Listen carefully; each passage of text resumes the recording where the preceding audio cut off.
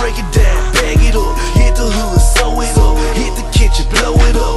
18 wheeler full of brick, the fans say they know it's up. I'ma